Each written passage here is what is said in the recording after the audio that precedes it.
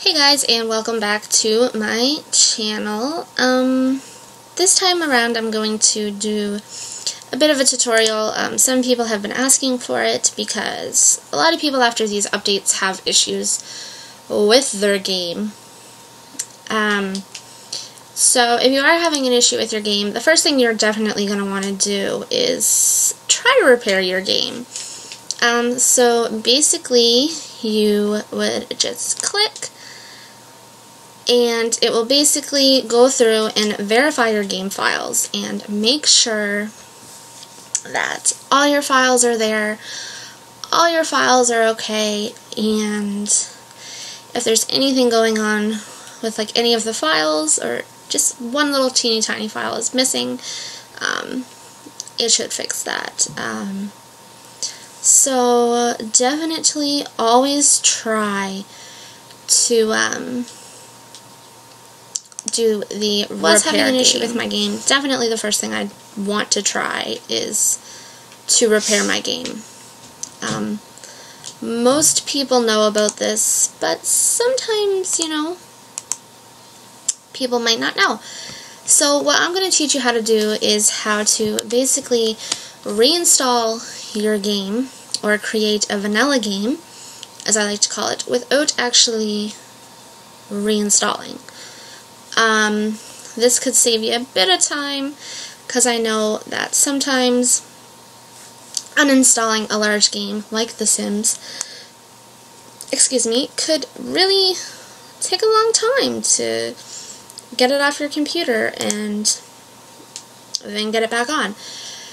So this should kind of give you a little bit of an idea of how long this takes. It does take a few minutes. So, I'm just going to wait for that to get done. Okay guys, so it's done and it will come up and it will say that it's ready to play and after you've done that you definitely want to click play, go in, see if the bug's fixed, see if the glitch is fixed, see if it will actually load and if it has not been fixed. What you want to do is you want to go into your computer and go into your documents and you want to find your electronic arts folder which for me is right here and then you want to find the Sims 4 folder. Now what you want to do is you want to rename this folder. Usually what I do is just rename it to The Sims 4 Old.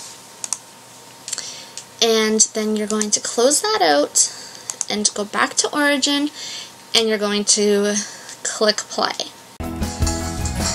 Okay guys, so once in game, this is what your game should look like after you've renamed that file. Um, you shouldn't be able to load any games, um, there shouldn't be any of those in there. And yeah, so that's what should happen after you click play and then you're just going to want to go back out of your game. Okay, so now that you've gone in and you have made sure that all your saves and everything is gone and it's opening up as it would if you have just purchased the game and just installed it. You want to go back into your documents, back into your electronic arts folder, and now you will see there's a brand new generated the Sims 4 folder. If you go into it, you will notice that your mods are not there if you have any, and you'll also notice that your saves are not there. So, in order to get those back, you want to open up another window and go into your documents, find your electronic arts folder, and go into the Sims 4 old folder. This is the folder that's going to contain all your mods if you have any. So if you want these mods, what you're going to want to do is just highlight them all. And then you want to put them into this new The Sims 4 folder. So you'd go into Electronic Arts, The Sims 4 mods, and you'd take all the mods from the old folder and put them in the new one. And you want to go back out go into your saves, and you'll notice all your saves are gone because it's generated this new folder. So what you want to do is you want to go into the Sims 4 old folder right here, go into the saves, and all of your saves are still here. They actually haven't been deleted. So you just want to highlight all of it, and you want to drag it into that new folder. And if it asks you to um, replace files, you click yes.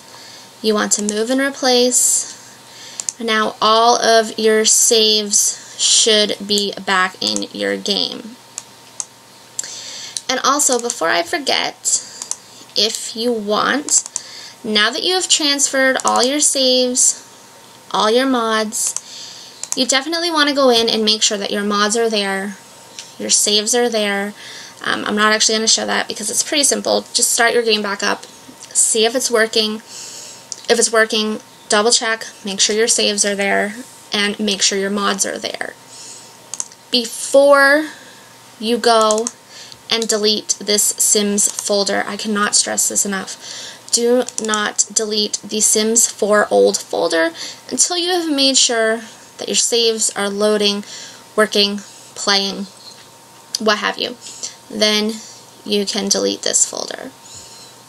Um, so yeah, if your game still isn't working, um, I guess as a last resort, you'll definitely have to reinstall, or you can contact Origin. There may just be a known bug, and they very well could be working on it. But yeah, so that's all I have for you guys tonight. If you have any questions, definitely comment them down below. I'd be happy to try and help you out the best I can. I know that it's really frustrating when your game does not work, and all you want to do is get your sim on. So, yeah. If you guys enjoyed this video, don't forget to comment and like it. And if you'd like to see more of my videos, you can definitely check out my channel and subscribe. And yeah, that's it for this video. I'll see you guys later. Bye.